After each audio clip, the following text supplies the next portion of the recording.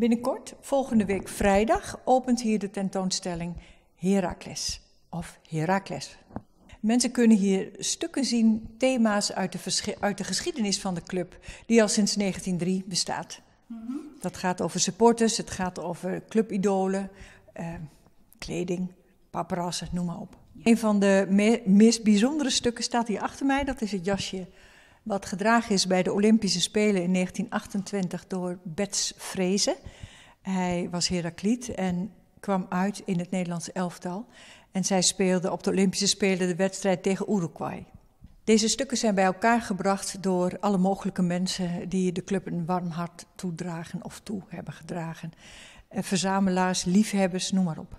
Wanneer de tentoonstelling afgelopen is, gaat deze expositie naar het Polmanstadion om daar uh, tentoongesteld te worden in een permanente setting. En dan wordt hij ook uitgebreid, want de ruimte in het Polmanstadion is groter dan hier. Deze expositie is in het Stadsmuseum te zien van zaterdag 29 oktober aanstaande tot en met zaterdag 21 januari 2017. En het Stadsmuseum is geopend van dinsdagmiddag tot en met zaterdagmiddag van 1 tot 5.